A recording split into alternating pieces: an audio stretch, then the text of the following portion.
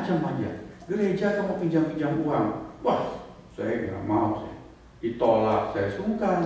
Mau saya penuhi, nggak rela saya. Akhirnya dia keluar aja daripada digerecoki. Ketemu nggak dia gereja yang sempurna, saudara? Oh, ketemu yang geleng-geleng kepala. Sudah lama dia keliling-keliling, cari-cari, pilih-pilih, teliti-teliti, dia ketemu satu gereja yang sempurna betul. Oke, okay?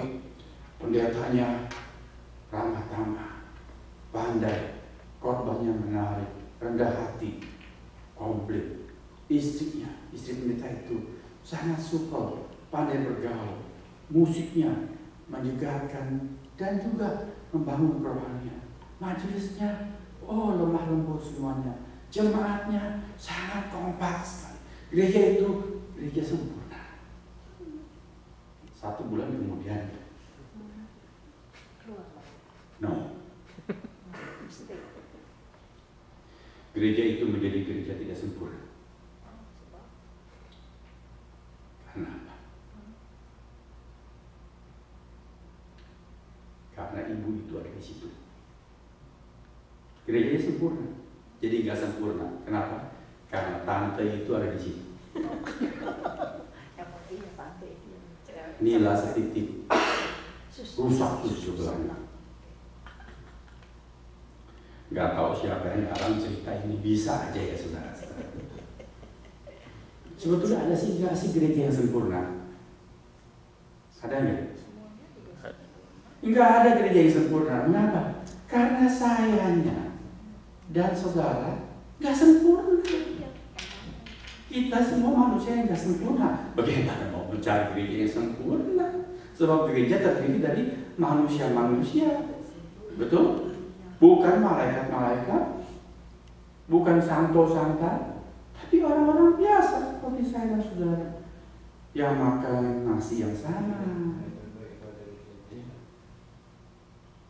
darahnya sama merahnya, dan juga kelemahan-kelemahan kita serupa karena kita semua cemar karena dosa.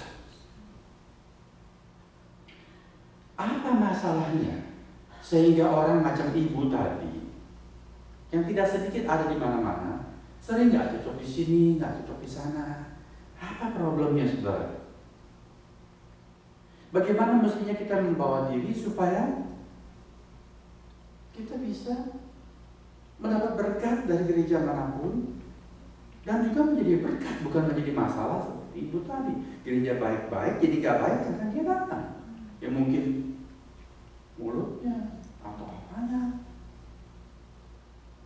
Rasul Paulus memberikan suatu gambaran yang sangat sederhana tapi praktis bahwa gereja itu diibaratkan sebagai apa?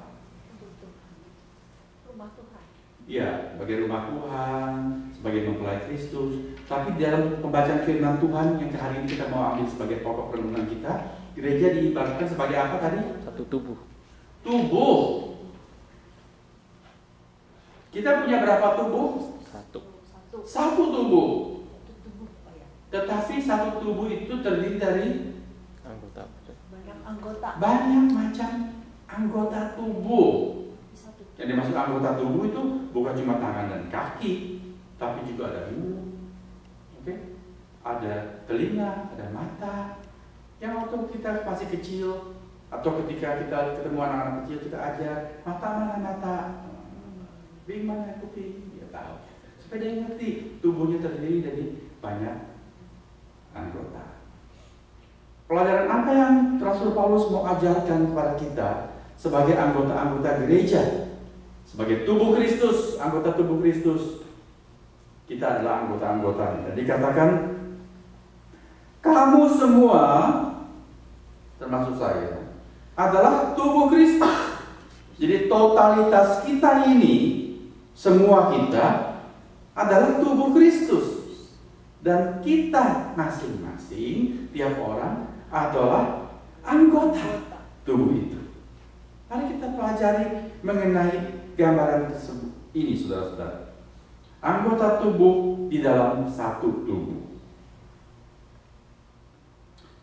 Ibu tadi, satu contoh, ilustrasi, dia nggak cocok ke sana ke sini. Selalu ada saja yang tidak sesuai dengan selera atau pendapatnya. Mengapa? Karena dia mau semua hal, semua orang, semua gereja mesti sama seperti Dia. dia menjadi ukuran. Ya aku anggap benar adalah benar. Kalau aku rasa nggak suka, itu pasti nggak benar. Apakah benar cara pandang seperti itu? Tidak cocok, saudara. Karena kita hidup itu di dalam dunia, ya kita sempitkan dalam gereja, bahkan di rumah tangga pun lebih sempit lagi. Kita nggak bisa orang lain tuh mesti sama seperti kita. Betul. Kalau kita senang sambal, kita nggak boleh paksa istri kita harus senang sambal.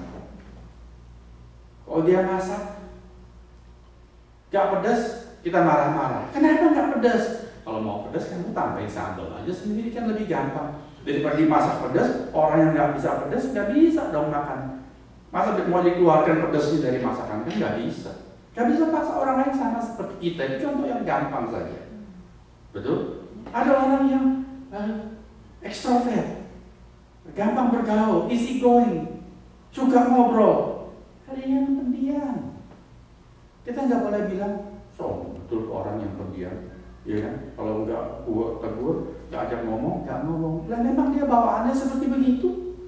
Sebaliknya kita yang pendiam nggak boleh bilang tuh, cerewet, ngomong nggak capek-capek. Heran ya, nggak bisa habis dia ngomong. Karena memang dia bawaannya seperti begitu. Nggak boleh paksa orang lain sama seperti diri kita. Di dalam anggota, di dalam tubuh kita, coba Tangan nggak boleh bilang sama kaki. Senangnya jalan aja. Bawa bantu nyuapin makanan masuk ke dalam mulut, jangan aku terus. Bisa, betul. Tangan itu memang tugasnya antara lain ya barang, termasuk nyuapin sendok masuk ke dalam mulut. Tapi kaki itu membawa tubuh kita ini pergi ke tujuan yang dibutuhkan dan itu menghindarkan kita dari ta- ditabrak mobil. Ketika kita dengar home mobil, betul? Kan kaki yang lari. Dan kaki nggak boleh bilang tangan, gua udah capek lari, sekarang kamu yang lari. Ya ditabrak mobil beneran kalau suruh tangan yang lari. Justru ada perbedaan-perbedaan. Di dalam gereja demikian juga ada kepelbagaian. Itu pertama. Yang kedua, Ibu seperti dalam ilustrasi kita, jadi susah sendiri. Karena apa? Dia punya motivasi yang keliru di dalam pergi ke gereja. Dia pergi ke gereja untuk apa? Untuk diri sendiri. Untuk mencari kepuasan diri sendiri. Betul? Dia suka yang model pendeta begini. Khotbahnya mesti gitu. Mesti banyak cerita yang lucu mesti apa ada dia punya kemampuan itu yang aku inginkan aku ingin jadi pendeta yang mesti begini begini begini padahal kalau dia sendiri jadi istri pendeta mungkin agak bisa jadi seperti yang dia inginkan dia mau musik seperti ini saudara di dalam tubuh kita coba kita lihat anggota tubuh itu ada untuk apa? Apakah untuk kesenangan diri sendiri? Kalau ada anggota tubuh yang cuma untuk kesenangan diri sendiri, pasti binasalah seluruh tubuh itu. Paling nggak jadi sakit.